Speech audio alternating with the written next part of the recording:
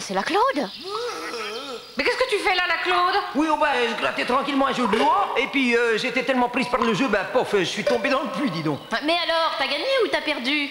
Mais j'en sais rien, je rien voir dans le noir. Envoie-nous donc ton ticket. Voilà. Oh la vache 100 000 francs Et c'était vous dites? On dit que c'est pas ton jour, la Claude. T'as perdu Oh, ben non, je touche le fond, là. Jeu de loi, ça rend plume Bien